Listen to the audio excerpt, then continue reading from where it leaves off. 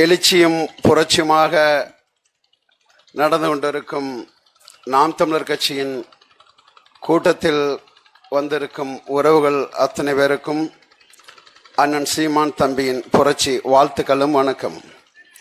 தண்ணீர் விட்டா வளர்த்தோம் இந்த பயிரை கண்ணீரால் காத்தோம் சர்வேசா என்ற தலைப்புக்கு கீழே பேச அழைக்கப்பட்டிருக்கிறோம்.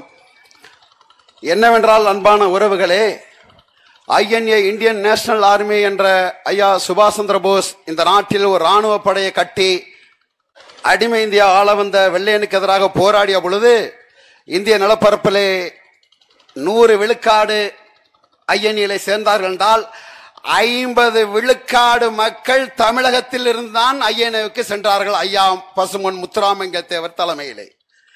அப்படிதான் இந்த நாட்டின் சுதந்திரத்திற்கு நாங்கள் கண்ணீர் விட்டு வளர்த்தோம்.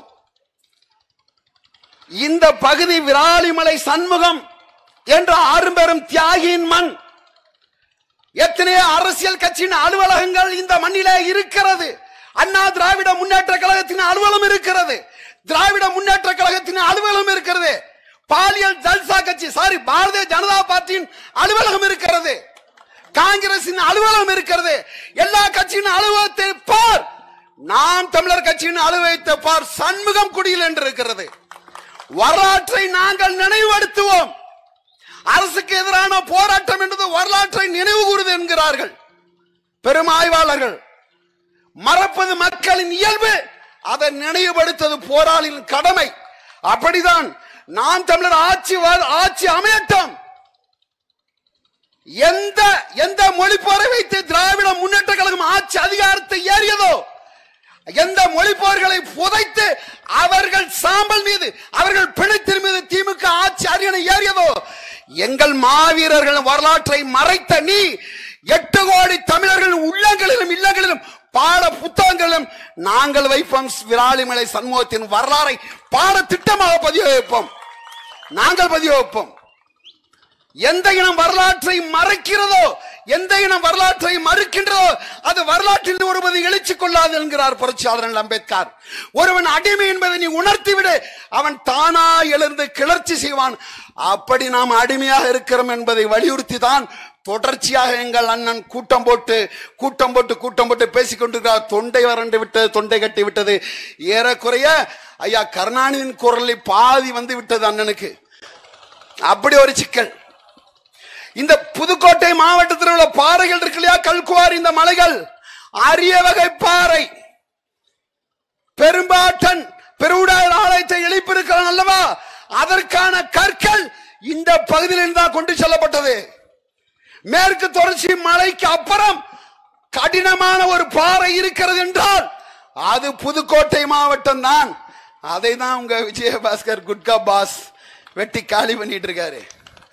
நீ என்ன போயிட்டு இருக்க பொங்கலுக்கெல்லாம் நாங்கள்லாம் வந்து சீர் கொடுப்போம் அக்கா தங்கச்சிகளுக்கு. விராலிமலை தொகுதி முழுக்க அவர் சீர் கொடுத்துருக்காரு பொங்கல் வரிசை. ஏன் ஆத்தி எல்லாம் பெரியதுப்பா. ஓ மனத்தை எடுத்து உன்ட்ட கொடுக்குறான். என்ன பண்ற? சில்லறைகளுக்கு ஆசைப்பட்டு நாங்கள் போயிட்டோம். இந்த இனம் அவ்வளவு மோசமாக கிடக்கு. அஞ்சுக்கும் பத்துக்கும் அரிசிக்கும் பருப்புக்கும் கிடக்கு இந்த இனம். யார் இதை மீட்டெடுப்பார்? எவர் இந்த வேலையை சமரசம் இல்லாமல் இந்த நிலத்தில் செய்வார்? சாதிக்காக மதத்துக்காக கட்சி நடத்தி கொண்டு இருக்கையில் இந்த நிலத்தில் வாழக்கூடிய அத்தனை உயிர்களுக்காக ஒரு கட்சி அதற்கு ஒரு தத்துவம் அதற்கு ஒரு தலைமை. அது நாங்கள் தானப்பா நாங்கள் தான் நாங்கள் தான் பெருமிதத்தோடு சொல்கிறோம். இப்ப முன்னாடி நின்று பேசின அவ்வளோ பேரும் பாத்தீங்களா? All are highly scholars. எல்லாரும் படித்தவங்க எனக்கு முன்னாடி பேசின இப்போ தங்கச்சிலாம் அனீஸ் பத்தம்லாம் ஒரு சட்டத்தரணி மாணவி. எல்லாருமே இங்கே ஹைலி கிராஜுவேட்டட். அது எல்லா கூட்டத்திலையும் காவல்துறை முகத்தை நான் ரொம்ப கூடுதலாக கவனிப்பேன் உற்று நோக்குவேன். இப்போ சமீப காலமாக இப்பதான் எங்க ஆளுக்க சிரிக்கிறாங்க காவல்துறை அப்படியா? இங்கெல்லாம் பாக்குற மகிழ்ச்சியா இருக்கிறாங்க. ஏன்? ஏன்? காமராஜுக்கு அப்புறம் ஒரே ஒரு முறை தன் வாழ்க்கையில் ஒரு நேர்மையான ஒரு முதலமைச்சருக்கு ஒரு நேர்மையான தலைவருக்கு சல்யூட் அடிக்க வேண்டும் என்ற நம்பிக்கை ஆர்வம் எத்தனை ஆயிரக்கணக்கான காவலர்கள் இருக்கிறாங்க. ஒரு நேர்மையான தலைவன் அமைய மாட்டானா? அவனுக்கு நாம் சல்யூட் வைப்பதற்கு. அப்படி ஒரு தலைவன் கிடைத்திருக்கான். அவன் கைகளை பற்றி கொண்டு நாம் நடக்க வேண்டும். ஒரு பிரேக்கிங் நியூஸ் வந்திருக்கு உங்களுக்கு இப்ப. ஜஸ்ட் நவ் எ பிரட்டி மூமெண்ட் இப்ப வந்திருக்கு. அதுக்கு முன்னாடி ஒரு கதையை ஒன்று சொல்லிடுறேன். ரெண்டு கொசு லவ் பண்ணிக்கிட்டு இருக்கு. டூ மஸ்கிட்டோஸ் அதில் அந்த ஃபீமேல் மஸ்கிட்டோவை மேல் மெஸ்கிட்ட இம்ப்ரெஸ் பண்ணோம். இப்போ நம்ம ஆளுங்க பைக் கீக்கா போட்டுக்கிட்டு இந்த பஸ் ஸ்டாண்ட் ஒருத்தர் அப்படி படுத்து எழுந்திருப்பாங்கல்ல. பிள்ளைகள நின்றுச்சுன்னா படுத்து எழுந்திருச்சா ஃபிகர் சிக்கும். எழுந்திருக்கலன்னா அந்த லூஸ் லாரியில் சிக்குவான். அப்படி இம்ப்ரெஸ் பண்ணுது. என்ன பண்ணுதுன்னா டார்லிங் படுக்கையில் படு டார்லிங் நான் நினச்சா ஒரே அடியில் யானையை சாச்சிடுவேன் யார்? கொசு. ஆச்சா பரவாயில்ல பரவாயில்ல தேங்க்யூ கொஞ்சம் தூங்கு. அவர் மறுபடியும் டார்லிங் நான் நினச்சா ஒரே இழுப்புல சிறுத்தையை காலி பண்ணிடுவான். ஓகே தேங்க்யூ தேங்க்யூ பரவாயில்ல. என் மேலே அவ்வளோ பாசம் வச்சிருக்கேன் படு. டார்லிங் நான் நினைச்சேன்னு வச்சுக்க ஒரே நேரத்தில் அம்புட்டு போயிடும் ஒரே அடி ஒரு கையத்துக்கு அடிச்சுன்னா ஐம்பது பேர் செத்து போயிடுவான். இப்படியே சொல்லிக்கிட்டே இருக்கு. எல்லாத்தையும் அமைதியா ரசிச்ச அந்த பெண் கொசு ஃபீமேல் கொசு. கடைசியா சே பரவாயில்ல டார்லிங் நீ மேல இவ்வளவு மதிப்பு இவ்வளவு அனுபவத்திற்கு நான் ஏத்துக்கிறேன் அப்படியே பேசிக்கிட்டே வருது. திடீர்னு அந்த கொசு டார்லிங் நான் எல்லாரும் எல்லார் அக்கௌண்ட்லையும் பதினஞ்சு லட்ச ரூபா நான் போடுவேன் அப்படின்னு சொன்னதோட ஒரே இழுப்பு. மோடியை கடிச்சிட்டு வந்தியா? மோடியை கடிச்சிட்டு வந்தியா? அப்படின்னு ஒரு இழுப்பு. அது மாதிரி தான் இங்க. திராவிட பன்றிகள் திராவிட நாய்கள் கடித்து விட்டு வந்திருக்குது நம்மள. இந்த நிலை மாற வேண்டும் என்றால் இறுதி வாய்ப்பு the last chance the last trump card will be the நாம் தமிழர் கட்சி தான். வேற எதுவுமே இல்லை. இந்த ஹாட் நியூஸு பிரேக்கிங் நியூஸ் அவசியம் நீ தெரிஞ்சுக்கணும். எங்கள் அண்ணன் இதை படித்து காமிச்சிடுறா இப்போங்க திராவிட மாடல் விடியல் மாடல் தலைமையில் முதலமைச்சர் கீழே இருக்கக்கூடிய பத்திர பதிவுத்துறை இல உள்ள அமைச்சர் அறிவிச்சிருக்கிறாரு.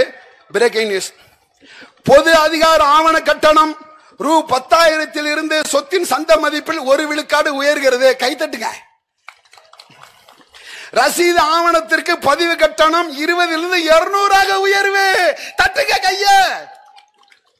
அதிகபட்ச முத்திரை தீர்வை கட்டணம் இருபத்தஞ்சில் இருந்து நாற்பதனாயிரமாக உயரியது ச! வாழ்க தமிழ்நாடு வளருக தமிழ்நாடு. அடுத்து தனிமனை பதிவுக்கான கட்டணம் இருநூறிலிருந்து ஆயிரமாக உயர்கிறது. வாழ்க வாழ்க விராலிமலையில திமுக ஓட்டுப்பட்ட மக்களே வாழ்க. அடுத்து செட்டில்மெண்ட் பாகம். செட்டில்மெண்ட் பாகம் மற்றும் விடுதலை அவங்களுக்கான அதிகபட்ச பதிவு கட்டணம் நாலாயிரத்தில் இருந்து பத்தாயிரமாக உயர்வு. அதுக்கு செட்டில்மெண்ட்லாம் ஸ்டாம்ப் டியூட்டி கிடையாது. ஏன்னா இப்போ போட்டிருக்காங்க.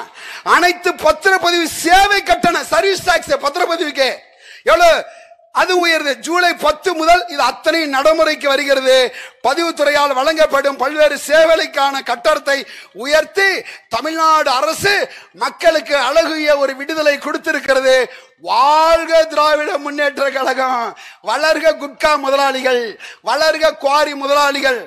இதெல்லாம் ஒழியணும்னா இந்த மாதிரி பிரேக்கிங் நியூஸ்லாம் அழியணும் ஒழியணும் அப்படின்னா நீங்கள் வந்து சேர வேண்டிய இடம் வாக்களிக்க வேண்டிய சின்னம் சின்னம் விவசாயி சின்னம் என்று கூறி நீங்களும் தமிழர் நானும் தமிழர் நாம் தமிழராய் வாழ்வோம் என்று கூறி விடைபெறுகிறேன். நன்றி வணக்கம். நாம் தமிழர். நிறைவாக